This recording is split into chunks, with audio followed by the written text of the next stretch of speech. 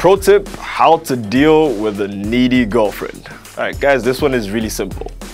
Break up with her, all right? Leave her, seriously. If you're, if you're with a girl and you feel like she's needy, then you're with the wrong mm. person because you should be with someone who, the things that the person wants, you actually want to give to that person. So just let it go, find someone else that you actually want to do things for or is as needy as you are. And then you know you're good, ain't no problem. Guy code.